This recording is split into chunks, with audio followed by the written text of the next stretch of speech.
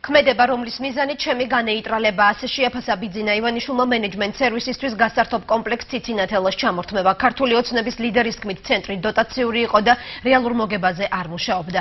შეგახსენებთ რომ ეკონომიკის სამინისტრო მენეჯმენტ სერვის კომპლექსის მართვის უფლება ჩამოართვა. მიზეზად კი ხელშეკრულების პირობების არ შესრულება დაასახელა. ახლა ციცინათელას ახალი დირექტორი ხავს რომელიც გურიის გუბერნატორის მოადგილეა. კომპლექსის ტერიტორია კი დილიდან ჟურნალისტებისთვის დახურულია. დაცვის სამსახური მედიის წარმომადგენლ წარმოადგენებს ტერიტორიაზე არ უშვებს. ეკონომიკის სამინისტროსა და მენეჯმენტ სერვის შორის ხელშეკრულება 2011 წლის 11 მაისს გაფორმდა. ამ ხელშეკრულებით გასართობი კომპლექსი ციცინათელა მენეჯმენტ სერვის 59 წლიანი მართვის უფლებით გადასცეს.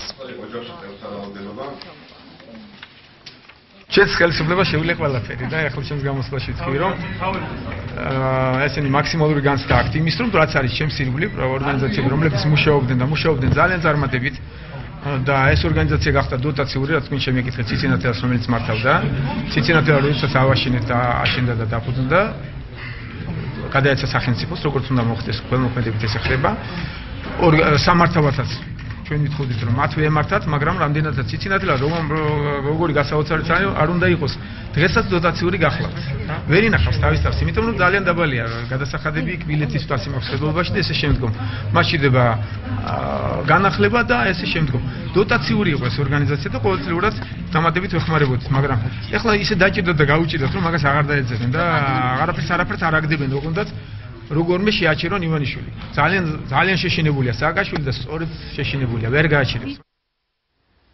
ბიძინა ივანიშვილი სალომე ზურაბიშვილთან თანამშრომლობას არ გამორიცხავს ჟურნალისტებთან საუბრისას კოალიცია ქართული ოცნების ლიდერმა საგარეო საქმეთა ყოფილი მინისტრის განვლილი პოლიტიკური გზა დადებითად შეაფასა და თქვა რომ ზურაბიშვილს უახლოეს დღეებში შეხვდება.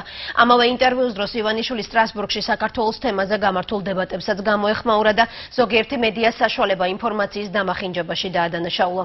კოალიციის ლიდერის თქმით ამ დებატების დროს იყო მის მიმართ კრიტიკაც, თუმცა ევროპარლამენტის დეპუტატების დიდმა ნაწილმა საქართველოში მიმდინარე წინასა საარჩევნო გარემო უარყოფითად შეაფასა.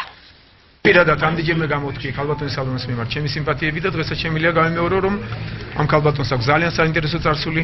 მათ რიცხვში ის რაც ჩვენს ხელისუფლებაში ის ნაწილი რაც მან ჩვენი ხელისუფლებაში მოღვაწეობის დროს გვაჩვენა ის გახლავთ ძალიან პრინციპული ქალბატონი რაც ჭირდება დღევანდელ ჩვენს პოლიტიკას.